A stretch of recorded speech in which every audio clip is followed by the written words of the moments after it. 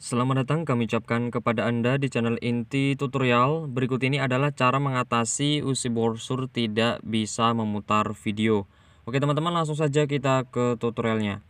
Jadi bagi teman-teman yang UC browsernya ternyata ketika masuk ya, nah, terus coba menonton video, eh ternyata setelah diputar tidak bisa.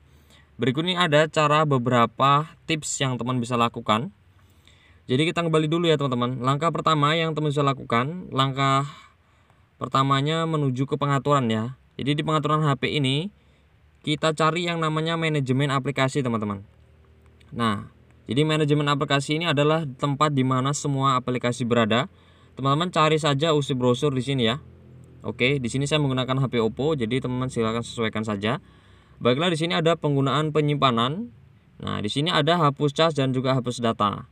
Jadi untuk UC browser yang tidak bisa mutar video, kita hapus datanya, dan juga kita hapus catnya ya nah, agar bersih langkah kedua kita kembali kemudian kita klik pasah berhenti di sini nah kalau sudah seperti ini teman-teman bisa kembali lagi ya nah langkah selanjutnya teman teman bisa lakukan teman-teman silakan menuju ke Google Play Store ya Nah, di Google Play Store ini silakan teman-teman ketikkan saja UC browser ya di pencarian.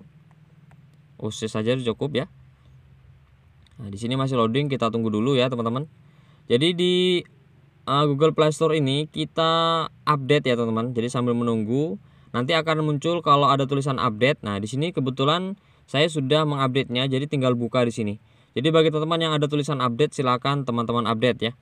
Nah, langkah selanjutnya bagi teman-teman yang belum bisa melakukan putar video di OC browser, teman-teman bisa klik kontak developer di sini. Nah, di sini ada help at idc.ucweb.com. Jadi di sini silakan teman-teman hubungi email di sini kemudian konsultasikan uh, masalah yang teman-teman hadapi. Oke teman tadi itu empat cara mengatasi usi browser tidak bisa mutar video. Semoga tutorial bisa bermanfaat dan terima kasih.